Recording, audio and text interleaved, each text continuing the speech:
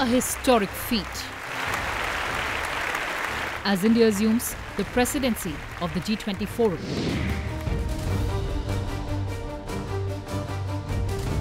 Here's a super exclusive and meaningful conversation between External Affairs Minister and Member Parliament. I want to do it in a way in which the entire country feels we have stakes in G20.